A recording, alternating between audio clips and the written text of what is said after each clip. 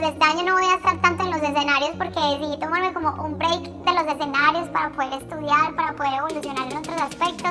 Así que me lo salí y me lo disfruté demasiado, demasiado. Pero no pueden con mi pum pum, con mi pum pum. Y si hay alguien que me rompa. Carol G deja los escenarios. Agárrense, mijitos, porque la bichota nos dice adiós. Apenas estábamos disfrutando de TQG al lado de Shakira.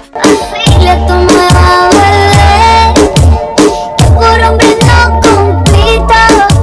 del álbum Mañana será bonito, cuando Carol G dio a conocer esta sorprendente noticia que conmocionó las redes sociales y nos agarró en curva, pues la colombiana dijo en una entrevista que se tomará un descanso de las presentaciones en vivo, ojo, solo de sus conciertos, todo eso para dedicarse a los estudios y desarrollarse más como un artista. Quiero estudiar, aprender a grabarme a mí misma, a aprender a producir mucho más, a aprender a, a desarrollarme en tantos aspectos de mi vida que antes estaba. Sin duda, esta es una muy dura noticia para todos sus fans, pues Carol ha sabido ganarse el amor de sus seguidores a pulso, creando himnos dignos de cualquier despechado o cualquier mamacita que ya superó a Alex, pero ni todos estos éxitos en la carrera de Carol han podido detenerla de la tremenda decisión que ha tomado. La bichota inició su camino musical por allá en el 2010 y desde entonces amasó una fortuna de nada más y nada menos que 25 millones de dólares. A sus 32 años ha tomado esta decisión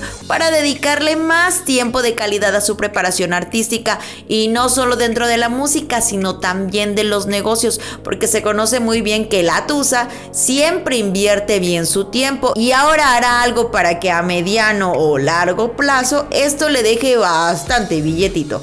Fue Jesse Cervantes el encargado de sacarle la noticia de la boca a Carol G. Y es que la cantante tomará un descanso, no se va por completo, porque sí quiere estudiar producción, pero también dijo que quiere evolucionar en varios aspectos de su vida.